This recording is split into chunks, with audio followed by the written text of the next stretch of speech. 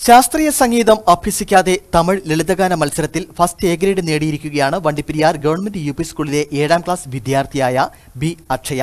വണ്ടിപ്പെരിയാർ ഗ്രാമ്പി എസ്റ്റേറ്റിലെ ബാലൻ റാണി ദമ്പതികളുടെ മകളാണ് അക്ഷയ. സംഗീതാസ്വാദകരാണ് നമ്മളെല്ലാവരും. ലളിത സംഗീതമാകുമ്പോൾ അതിന് മധുരം കൂടും. തമിഴ് വിഭാഗം ലളിതഗാന മത്സരത്തിൽ ഒന്നാം സ്ഥാനം നേടിയ ഒരു കൊച്ചുമിടുക്കിയിലേക്കാണ് ഇനി നമ്മൾ പോകുന്നത്. അക്ഷയ അവളുടെ വിശേഷങ്ങൾ അറിയാം. അക്ഷയ കൺഗ്രാചുലേഷൻസ് ആദ്യം തന്നെ. എങ്ങനെ ഉണ്ടായിരുന്നു മത്സരമൊക്കെ? നല്ലതായിട്ടുണ്ടായിരുന്നു ആ. ജഡ്ജസിനെ ഒക്കെ കയ്യിലെടുത്തോ? ആ. ആ പാട്ടൊന്ന് പാടാമോ ഒന്ന് പഠിക്കും.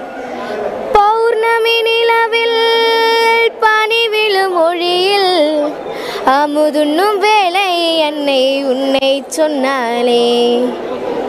നീ അങ്ങ് ഇരുപ്പതായി നിലവിനിൽ വസിപ്പതായി கதைகளை சொல்லி என்னை காதல் செய்தாலே அன்பையும் பண்பையும் அறத்தையும் குணத்தையும் அழகாய் சொல்லி பள்ளி போக சொன்னாலே நான் தமிழை விரும்பினேன் அதன் அழகில் மயங்கினேன்.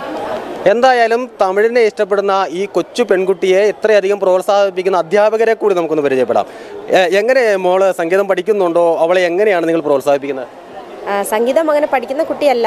പക്ഷേ പാട്ട് പാടാനൊക്കെ നല്ല താല്പര്യമുള്ള കൊച്ചായിരുന്നു. അപ്പം കുട്ടികളെ സെലക്ട് ചെയ്ത് പാട്ട് പാടുമ്പോൾ തന്നെ അവൾക്ക് പാട്ടിനോടുള്ള താല്പര്യം മനസ്സിലായി. അങ്ങനെ പ്രാക്ടീസ് കൊടുത്തതാണ്. സ്കൂളിൽ തന്നെ ടീച്ചേഴ്സ് സാർ ഹെഡ് മാസ്റ്റർ ഞങ്ങൾ എല്ലാവരും കൂടി പ്രാക്ടീസ് കൊടുത്താണ് അവളെ വേദിയിലേക്ക് കൊണ്ടുവന്നത്. അവൾ മിടുക്കിയാണ്. അവൾ പാടാനും നല്ല കഴിവുള്ള കുട്ടിയാണ്. അതുകൊണ്ട് കുറച്ചുകൂടി എളുപ്പമായിരുന്നു.